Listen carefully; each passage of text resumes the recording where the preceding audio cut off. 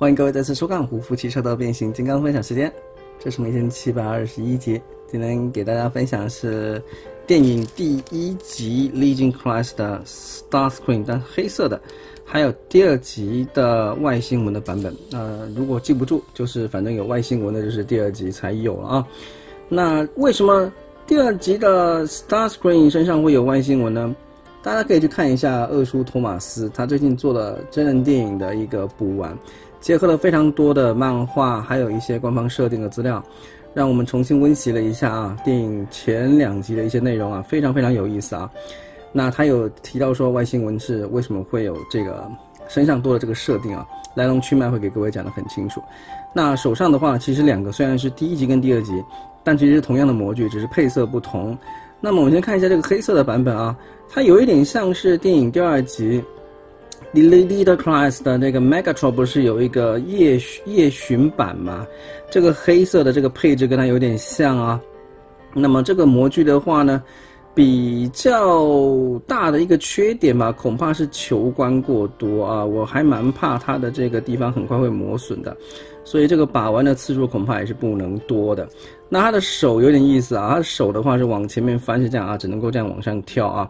那如果你是要手刀的话呢，就需要转一些特殊的角度。但是手刀的话，就会造成说它没有办法呢，啊，就转到一些特殊角度啊。不过反正就是一个这么小尺寸的玩具，也就也就不要计较那么多了啊。腿的话呢，只有一个根部的关节而已，所以这个玩具在站立的时候呢，你要分配一下重量啊。两手摆到前面的时候，有时候就不太能够负荷得了了。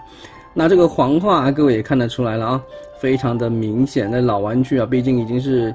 零九年到现在吧，十四年前的玩具了啊。然后头雕，那头雕做的有点意思啊。这个头雕看上去有点像 电影第一集不是有这个陨石形态的那个天王星嘛？这个感觉有点像啊。那这个黑色的话就更像那个夜巡版的那个 Megatron 那个配色了啊。那身形都是倒三角形，其实这个玩具的话很很不错啊，把这个。还有一个 S Star Screen 的一个形电影系的 Star Screen 的形象已经做的非常非常的饱满了啊。那我们进入它的变形环节吧啊。呃，首先的话呢，这个两腿啊，可以把它往中间这里翻进来，翻进来之后呢，把这个两个中间这里做个简单的小合并，然后整个这个飞机的头部呢往前面翻下去，到这里卡在这边了，只能卡上去啊。然后的话呢，这个后面的这个翅膀可以往上挑一些。再来的话呢，我们旋转这个地方，这个地方有一个黑色的凸，呃，在这里，它要扣手臂的内部，这里有一个凹槽，这样子把它给压进去。然后手臂的话呢，就只是往后面呢，顺着这个方向放就可以了啊，大概可以跟它，啊，这个手是悬空的，就跟这个后面的翅膀大概同一个方向就行了。这个变形就已经完成了啊。非常的简单，对不对？也非常的好玩了啊！